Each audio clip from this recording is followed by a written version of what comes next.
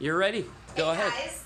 Okay, so we're gonna do a quick video on how to assemble and break down your CSA boxes because it is way easier and more convenient for the host families and places to store the boxes when they're folded like this as opposed to put together. And it's also easier for us when we pick them up and put them away. So, very quickly, this is your half bushel box.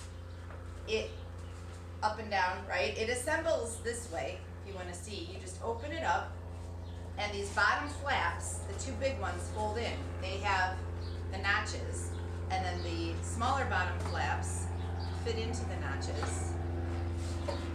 There you go. The top, if you ever want to reseal it, is basically the same.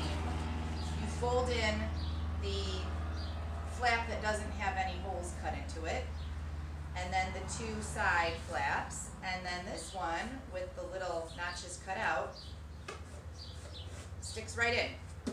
And that's how easy it is to assemble these. To break them down, all you have to do is make sure that you open it like so, flip it over, take the flaps out, spread the larger flaps, and then fold it down. And that's all we're asking for, is that it's folded nice and flat see how much easier it is to store. Now I have a brown box too. It operates in the same way.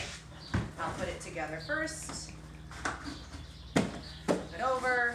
It folds up, it assembles and folds up in exactly the same way. So there's your assembled three quarter bushel box. So same thing, you open it by taking the top flaps apart, flip it over, take out the smaller sides, open it up all the way, and then whoop, see, just compress it, and then it's flat, and then we can stack them. The host families can stack them and stash them away. They fit in our car. Nobody gets mad. Nobody stresses out. Life is good. Thank you.